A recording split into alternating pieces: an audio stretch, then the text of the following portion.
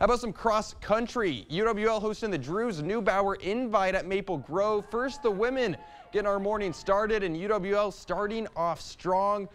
We've got a pack of five leading the way right off the bat, followed by a pack of runners. UWL's Gwen Hines would take home first for the Eagles with 22.07. Madeline McIntyre in second. UWL would have seven in the top to take first overall. Next up, the men's race, and look out for the Eagles. UWL running as a team in this one, but it was Mohamed Bati flying in at 24 minutes, 6 seconds for Augsburg. Right behind him were UWL's Grant Matai and Elias Ritzky coming in one second apart from each other to take second and third. UWL would also get the win in the team scores, so it's a sweep for the Eagles.